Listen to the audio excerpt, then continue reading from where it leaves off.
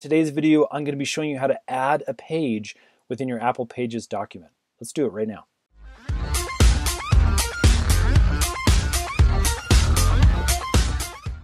Okay, so I've got a very simple document opened up here in Apple Pages, and all we want to do is we want to add a new page. Let's say you've come to the end of a specific paragraph or maybe a specific layout that you want for your first page, and you just want to add another one. There's a couple ways of doing this that I'll show you. To make things easier for us to see, what I'm going to do is I'm going to come over here to the View option. I'm going to click on that, and then I'm actually going to click on Page Thumbnails. And what that does is just opens up a little sidebar so we can see how many pages this document actually has. Now, let me show you just how easy this is. There's this little icon up here that says Add Page. And literally all we need to do is click that.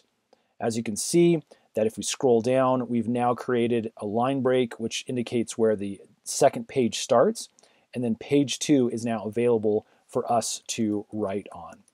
Now, one other way that you can do this, again, if you're just long forming it, is let's say you get to the bottom of a, a page and you basically only have a couple lines that you need to adjust. I'm actually just going to hit the return key a bunch of different times. You can see that cursor go all the way down.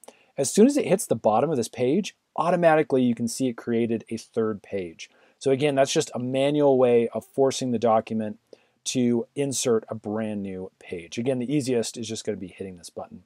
Friends, I hope that helps. If this has helped, would you guys please hit that thumbs up button? It lets us know we're making good videos. And hit subscribe because we got a bunch more Apple Pages tutorial videos that are coming up really soon. Thanks so much for watching.